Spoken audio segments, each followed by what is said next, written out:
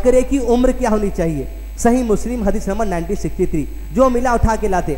दो हज़ार में, ढाई हज़ार में, तीन हज़ार में ढूंढ ढूंढ के पैसे कम होना बकरा कैसा है वो नहीं देखते। बकरे की, गाय की, ऊँट की उम्र इस तरह है। नोट्स दे दिए जाएँगे। लोगों को बताइए, आप भी अमल कीजिए।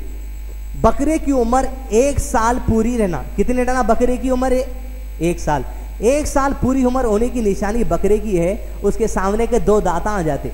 यूँ उठा के देखना। दो दांत देख रहे हैं राइट दो दाता जाते सामने के बकरे के। दूसरा, खसी और गैर खसी जानवर की कुर्बानी जायज़ है। बकरा या बकरी, दोनों की उम्र एक साल रहना। मेंढा घुंगरू बाल वाला जो मोटा बकरा रहता, उसकी उम्र अगर आठ महीने भी रही तो चलता, एक साल रही तो अच्छी बात है। नेक्स्ट गाय की उम्र कम से कम दो साल रहना। कितने साल की रहना गाय? दो साल की। ऊँट अगर आप देना चाह रहे हैं, ऊँट की उम्र कम से कम पाँच साल रहना। कितनी रहना? पाँच साल की उम्र रहना चाहिए। पॉइंट नंबर ग्यारह।